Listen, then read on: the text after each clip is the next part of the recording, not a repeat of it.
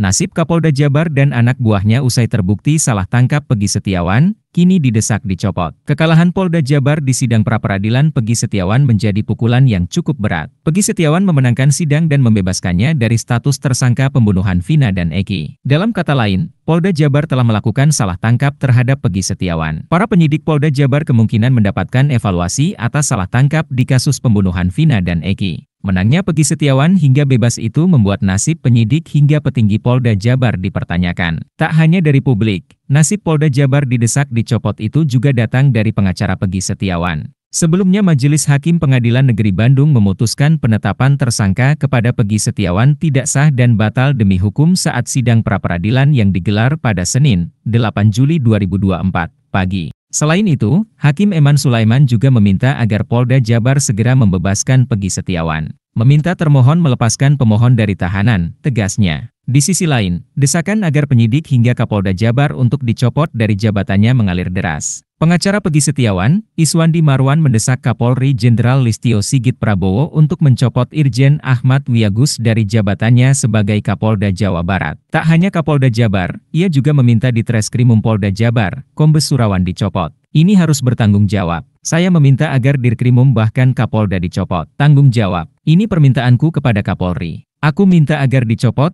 Kapolda, Dirkrimum, dan ke bawahnya jajaran, termasuk yang memimpin beberapa kali gelar perkara itu harus dicopot, kata Iswandi melansir Tribun Jabar, Senin, 8 Juli 2024. Menurutnya, penyidik dianggap sudah melakukan pelanggaran HAM kepada kliennya Pegi Setiawan. Ini kan sudah hak asasi manusia. Pelanggaran hak asasi manusia, ini kesewenang-wenangan, tambah dia. Putusan pra-peradilan Pegi juga, menurut Iswandi, bisa dijadikan pelajaran untuk Polda Jabar agar tidak sewenang-wenang dalam menetapkan tersangka. Iswandi meminta agar pihak kepolisian mengganti rugi baik material maupun imaterial dan memulihkan nama baik kliennya tersebut. Tindak lanjut kami akan meminta pemulihan nama baiknya Pegi, ganti rugi, baik material maupun imaterial, jelasnya. Sementara itu, kriminolog Unisba, Profesor Nandang Sambas, menilai putusan hakim dalam gugatan pra-peradilan Pegi Setiawan terhadap Polda Jabar sudah tepat.